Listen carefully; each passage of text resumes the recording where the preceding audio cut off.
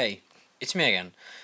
In this episode, I'll be talking about something I think people sometimes uh, overlook and other times uh, put way too much uh, thought into, but maybe the wrong parts of the whole issue. So, the thing we're going to be talking about this time is drive shafts.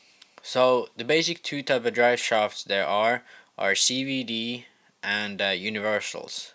The CVD type is more common in the ball style cars, and the universal type is more common uh, in the C-hub cars. Uh, I really don't know the reason behind this, other than the brands have just went with what seems to work with other cars.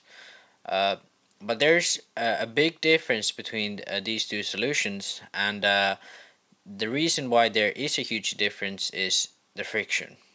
Friction is everything that comes to drive shafts and pretty much that's the sole reason why CVDs and universals act differently. Uh, the universals produce much less friction, uh, which results in way different style of handling. The universals produce much more free of a car, uh, especially in the front. It allows the front tires to uh, steer more freely, and in the rear, it allows the rear end to uh, sort of go around bumps much easier. It doesn't stiffen up the car same way as the CVD does, where when you would go on power, the friction in the drive shaft would sort of uh, act as an extra force stiffening up the suspension on top of what the shocks are already doing. All in all, it just makes the car feel a bit more stiff and uh, a bit more sort of uh, immediate with the track. It doesn't have that sort of freedom as the universals will have. So taking all this into consideration, uh, you'll most likely be better off with the universals in situations where the track is uh, lower grip, uh, a bit bumpy, uh, preferably uh, slower speed, and uh, having more tighter corners and stuff like this. And tracks like this will be much more easier to drive with the universals most of the time.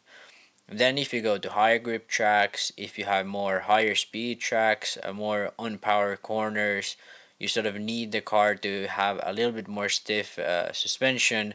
You don't have to worry about bumps as much, and then you will want to choose the CVDs as you will have more benefit from this. Uh, but all in all, there's much more to do with the drive shaft and the friction in the drive shaft, and that's what we're going into next. First we're going to start uh, out with looking at the drive shaft from the top angle. In the last episode we talked about, a lot about the wheelbase and how that affects the car. But also when you're tuning the wheelbase there's something else you're tuning which is the angle of the drive shaft which uh, also affects the friction in the drive shaft which affects the suspension of the car. So the more angle you put in the drive shaft the more friction it is going to have whilst you go on power. Now, uh, as, it, as it was with CVDs and univers universals, there's a difference between having more friction and it is that with more friction, with more angle uh, in the drive shaft, you will have a slightly better responsiveness of the car and you will also have uh, sort of a stiffer car overall. The only issue with this, it's it's really hard to isolate from the wheelbase change. Uh, so this is something that oftentimes people might confuse why their car work better with the different uh, wheelbase adjustment. It might be actually because the angle of the drive shaft might be helping them as well as the wheelbase. So something to really keep in mind. Now i will go to something that I feel a much more critical and much more uh, easier to isolate as a change. This is uh, the differential height. It adjusts the angle of the drive shaft uh, horizontally and this really affects how the car will handle on power on the roll. So if you could imagine the car rolling in a corner and then you would go on power, there's a certain point where which there will be more friction and certain point where there will be less and it depends uh, completely on the angle of the drive shaft relative to the outdrive. Now if you imagine you would raise or lower the diff, this would affect where this higher friction point is under the roll movement of the car in the corner. This is something that is completely overlooked in the 8 scale racing. In the 10 scale racing, sometimes this is uh, focused on more, but that's probably only because they have had to run super low ride heights and they found out that higher diffs work. But actually, there's much more to it than just if you lower the ride height, you will need a higher diff. It's a huge part of the setup as a whole, and also uh, it really has its own meaning in the setting up of of the car. To me, this is a pretty big deal and it shouldn't be overlooked at all because this is very key how to how the car handles under roll on power. And the height of the diff can really help you with corner speed or on the other side can really help you gain more feel on the car under roll.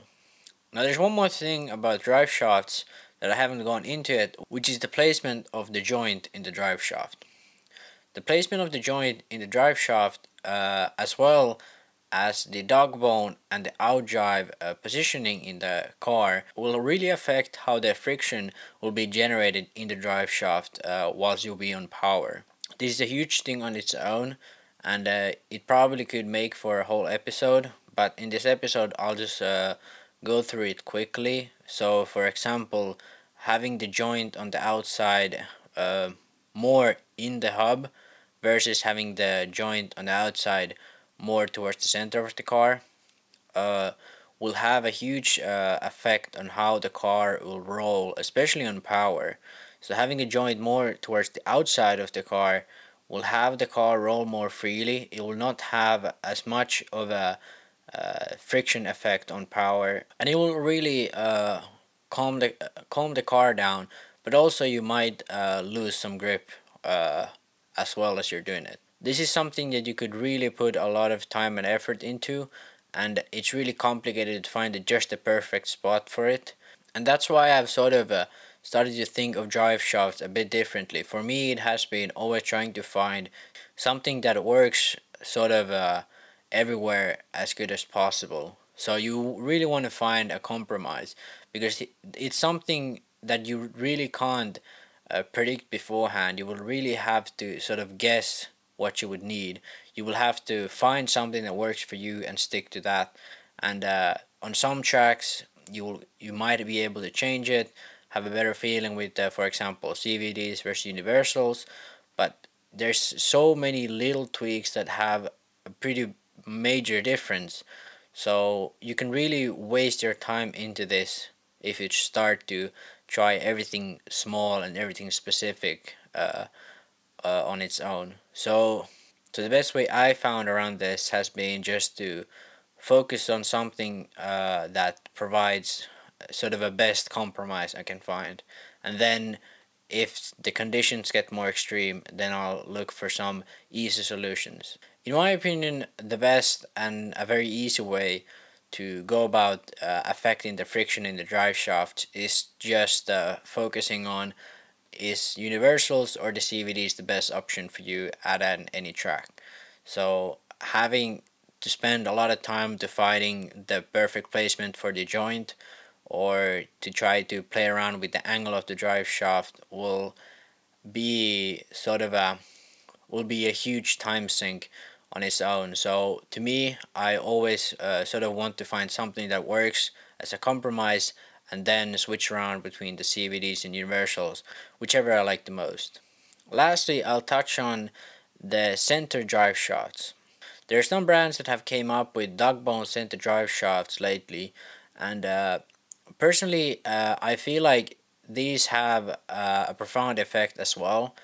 But at least for me, the universal center drive shafts have been working much better as they provide the car with much more smooth and overall uh, balanced uh, uh, acceleration and uh, drive on the car. Having uh, center dog bones will lighten up the drivetrain and uh, will also make the whole on power of the car a bit more aggressive, a bit more punched. but to me, it's been always easiest to drive with the center universals and not the dog bones.